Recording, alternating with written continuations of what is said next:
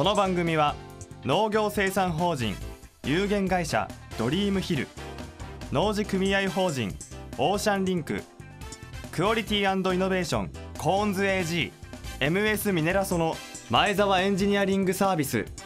牧場に合わせた低圧バイオガスを提案する角川建設株式会社ナスケオ環境と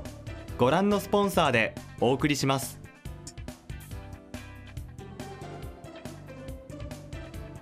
皆さんお元気ですか？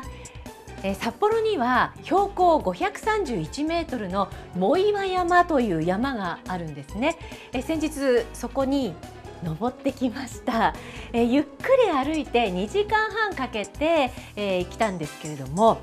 走って登って下ってくる人って結構いるもんなんですね。びっくりしました。そして何よりも驚いたのが裸足で登ってる人がいたんです。私もう二度見しちゃいましたよね。あの方は何かの修行なんでしょうか。いやーで結構足の裏痛いと思うんですけれども。いやいろんな方がいるもんです。さて北海道から毎週発信酪農情報専門チャンネルデイリーナビ TV 今回も酪農に携わる皆さんにためになる情報をお届けしてまいります。今回の特集のテーマは海外で学んだのは意識改革。酪農家にもっと休日を作ろうです。今回取材したのは北海道厚岸町の木原牧場。歴史と実績で知る人ぞ知る名門の牧場です。2代目木原武弘さんは北連の副会長を務め生乳輸送船北連丸を就航させた人なんです。そしてその孫でもある木原智也さんは27歳将来の4代目社長ですとりあえずあの木原牧場はうんとここに入植してから、まあ、牛飼い始めて、まあ、飼い始めたのが1935年でとりあえず、まあ、100年牧場にはしたいとは思ってます。はい、その上ではい地域をなんか引っ張っていけるような牧場になれたら嬉しいですね。はい、うんとそうですね社長親父社長とまあはい僕ですね。従業員は一応フィリピン人の技能実習生3名です。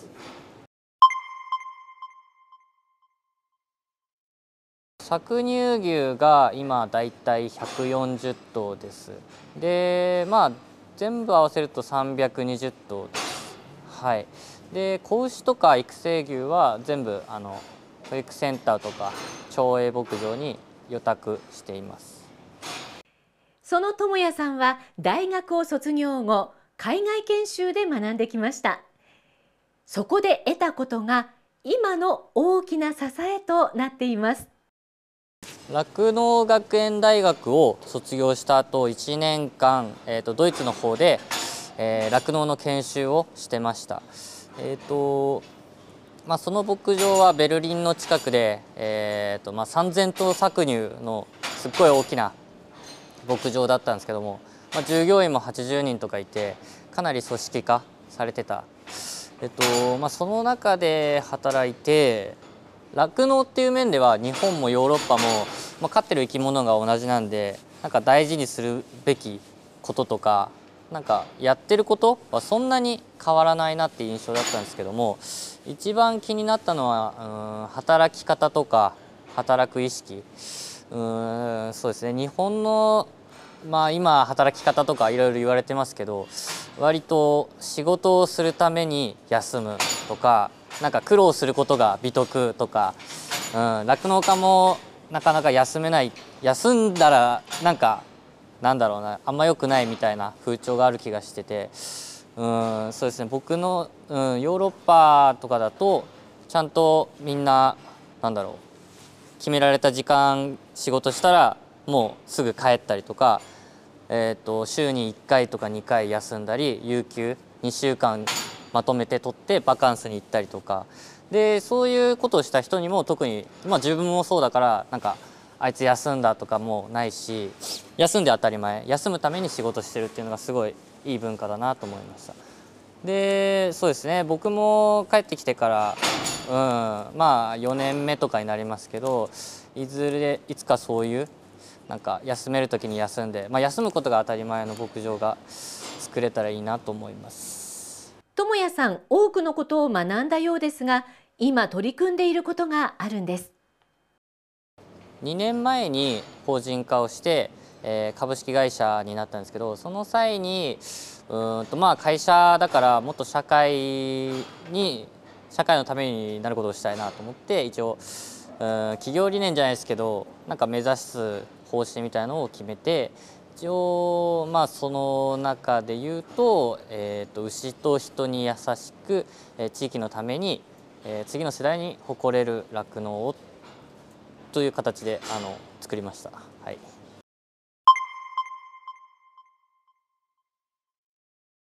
まあ搾乳って一括りに言っても結構人によってやり方が違ったりとか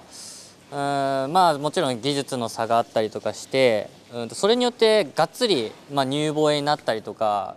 その牧場の経済に影響するんでまずは均一化うん、均一する均一化するのが大事だと思ってましてうんと、まあ、マニュアル作ってみんなに見せて共有して一個ずつ丁寧に教えたら、まあ、みんな同じやり方やり方をできるようになってかなり乳房炎は本当にかなり減ってたし業務的にもかなり効率よくなりましたね。あとまあなんだろうマニュアルでやり方を手順を書くだけじゃなくてこの手順一つ一つにどんな意味があるのかとかを、まあ、一緒に書いたんですよね。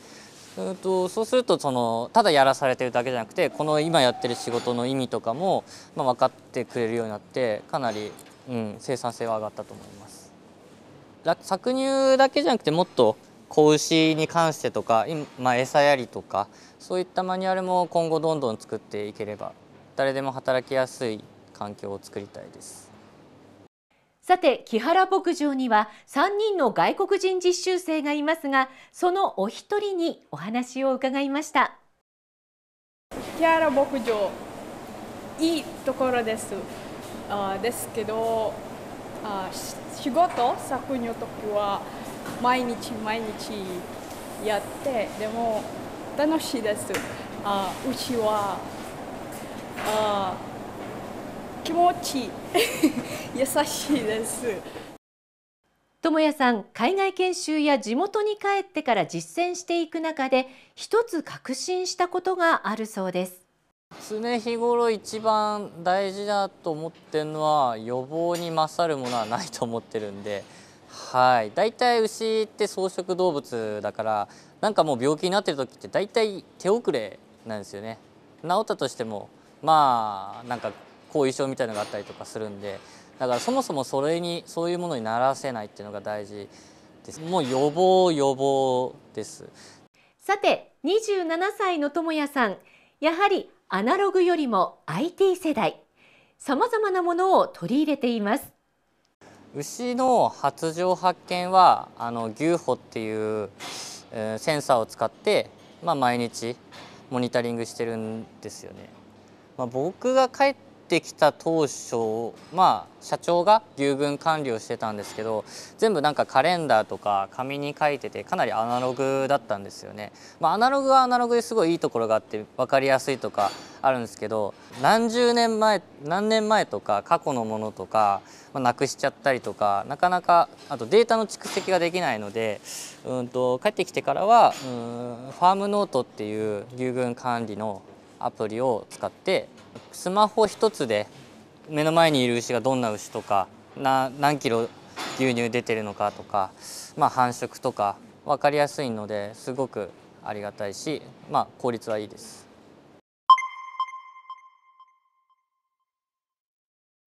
うんとそうですね乳量を増やすねまああんまり乳量追ってないんですよね正直。うん、でもう結果として乳量が増えたのは増えた原因はうちは貫乳牛の改善ですね。うんと貫乳まあ牛が分娩する前の時期なんですけどもそこの時にやっぱり、うん、牧草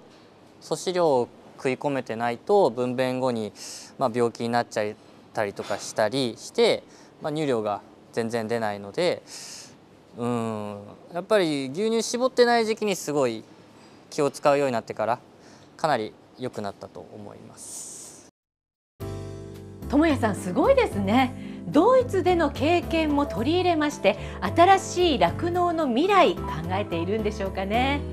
え、今後の目標についても伺いました若者がなかなか活躍できないと思ってて僕はなんかそういう若者とかパパとかママがうんのびのびと働ける会社を作りたいと思ってます。でそのためにはやっぱり生産性を上げるっていうのが一番大事だと思っててうんとその生産性を上げるっていうのはやっぱ、うん、IT 技術とかテクノロジーでなんとかできると思っててうん徐々に、まあ、今餌押しとかタイヤショベルとかでやってるんですけども、まあ、餌押しロボットレリーとかジュノとか使って、まあ、自動化できるとこは自動化してより生産性を上げるっていう取り組みを、まあ、積極的にできたらいいなと思ってます。目標としては週休3日の牧場を目指しています。でまあ週休3日にするといや無理だろうとか言われるんですけどうんとまあ無理ではないなとは思っててやっぱりうんと生産性を上げたりとか、うん、分業化、うんと仕事の分担分配が大事だと思っててあとやっぱりその他に意識、うん、その分なんだろうなちゃんと休むっていうその制度に対してうん努力するっていうことが大事だと思っててまあこれまでの酪農休みがなくてうん何時1日何時間も働くっていうのはきっと変えられると思っててで変えなきゃ多分若者はもうついてこないのでうんまあそういうものに追いつけるように僕自身も、まあ、意識的なものを変えていかなきゃなとは思ってます。智也さんはいろんな相談やチャレンジができる仲間をさらに作っていきたいとも話していました。これからの若い力がとっても楽しみですね。特集お送りしました。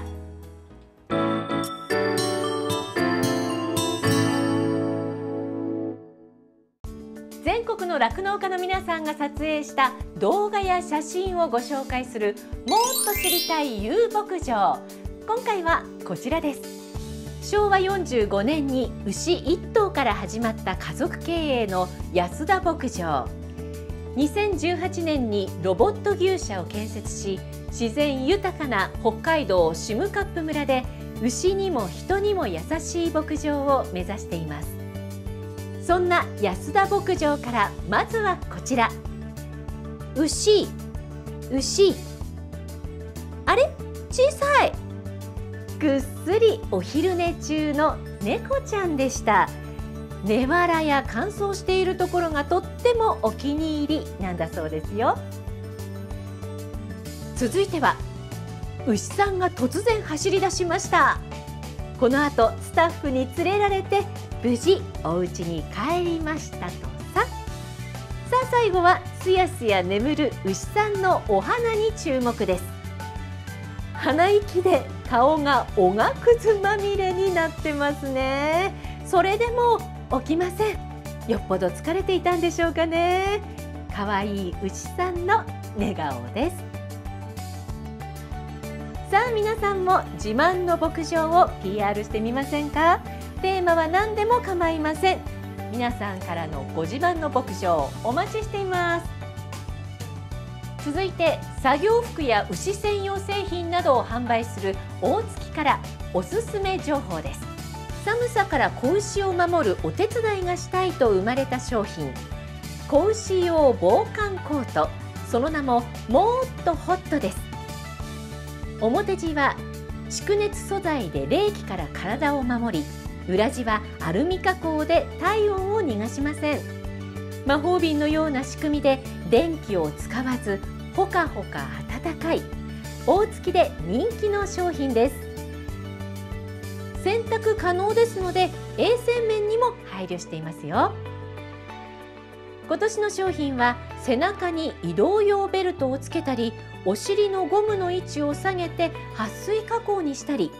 首周りを10センチ長くするなど去年の商品を使ったお客様の声を反映して改良したポイントがいくつもあります。さらに使いやすくなったもっとホット。価格は8800円。10月末から販売予定です。今後の詳しい情報は大月の牛アイテムの専用ホームページ。牛もでご確認ください。続いてお知らせです。全国版の酪農情報専門誌デイリーマン9月号はただいま発売中です。9月号は入荷引き上げの影響と適正な水準を探る。未利用低利用飼料資源の活用へなどが紹介されています。全国版の酪農情報専門誌デイリーマン。購読ご希望の方はこちらデイリーマン社のホームページにアクセスしてお申し込みください。それでは皆さんにプレゼントです。抽選で10名の方にデイリーマン9月号をプレゼントします。読んでみたいという方はこちらから応募してください。番組ホームページに応募フォームがありますのでこちらからお気軽にご応募くださいね。お待ちしています。さあ今回もデイリーマンの中島さんが来てくださいました。こんにちは。よろしくお願いします。今日はなんか本を持ってきてくださったんですね、はい、こちらあの令和元年の方に発行させていただいたうちの方で発行した本なんですけども、はい、ショーリングへの道ということで。ショーリングへの道？はい。ショーリングって何ですか？ショーリングっていうのが、えっと、毎年あの全国各地で共進会という牛の美人さんコンテストといいますか、えー、品評会みたいなのありますもんね。その品評会が行われてまして、はい、で今年がですね3年ぶりにあの北海道ナショナルショーということで9月の24日5日と開催される予定でして、まあ、それに向けてですね、はい、あの今回あのこういった本をあの持ってきたんですけども。牛の毛刈りのポイントだったり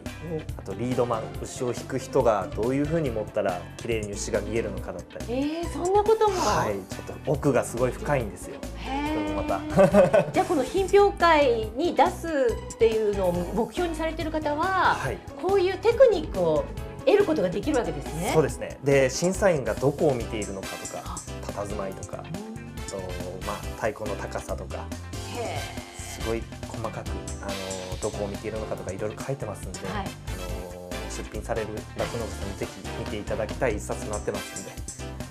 これあの別に今回に限らずまたそのうちなんかちょっと試してみたいあの目指してみたいっていう方にとってもいい教科書にはなってくれそうですよね。はい、ね。あの教科書としてもおそらく使えるとは思いますので、はい、はい、ぜ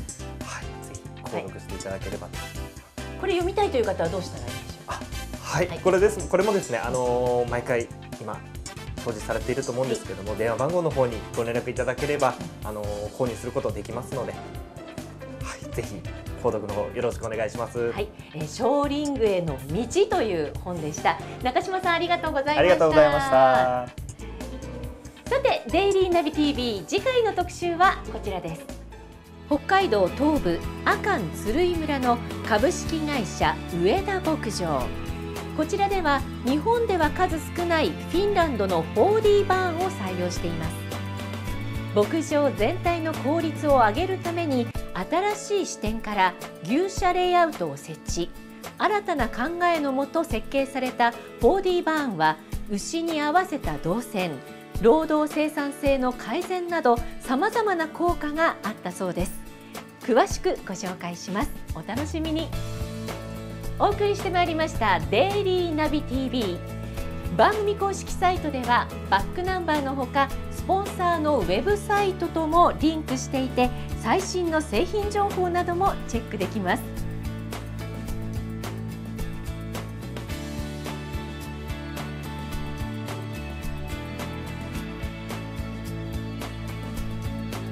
酪農情報ニュースでは特集に関連した情報や魅力的な情報を提供していますのでぜひ活用してくださいね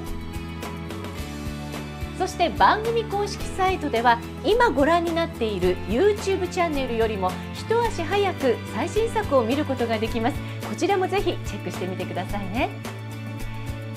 それではまた次回のデイリーナビ TV でお会いしましょう。この番組は